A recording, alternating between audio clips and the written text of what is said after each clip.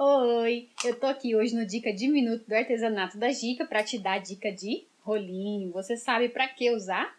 Eu uso o rolinho para as duas coisas, para passar cola, eu vou te explicar por quê, e também para tirar a marca de pincel quando a gente passa tinta, aquela tinta PVA quando a gente vai pintar normalmente a caixa de MDF, sabe? Então eu pinto com pincel, passo a tinta lá que eu quero, em seguida eu já venho com o rolinho para tirar a marca de pincel. Você já usou essa técnica? Tenho certeza que você vai amar tirar aquela marca de pincel que fica na tinta. E para o caso de passar cola, você vai passar cola para colar o tecido, por exemplo.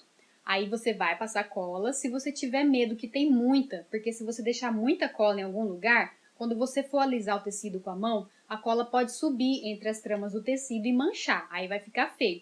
Então, eu sugiro para as minhas alunas e seguidoras passa o rolinho, passa o pincel, né, com a cola branca, que a gente já falou aqui, e você vai em seguida passar com o rolinho para tirar o excesso de cola. É muito legal, dá super certo. E se você quer aprofundar nesses temas do rolinho para saber como usar certinho, quer ver na prática? Eu tenho duas aulas que eu gravei para você, deixo o link aqui. Se você tiver no YouTube, tá aqui na descrição do vídeo. Se você tiver no Facebook, deve estar tá aqui em cima, para você ver na prática como que eu faço para tirar a marca do pincel, no caso de, de tinta, tem a aula lá rapidinho para você ver, em que eu uso certinho, eu te mostro. E também uma outra em que eu te mostro é, eu passando o rolinho e tirando o excesso da cola com ele, tá bom? Então curte lá, corre lá para aprender mais artesanato. Um beijo, espero o seu comentário, o seu joinha se você estiver aqui no YouTube e se inscrever no canal também se você ainda não é inscrita para receber as novidades e curta minha fanpage se você estiver vendo esse vídeo no Facebook.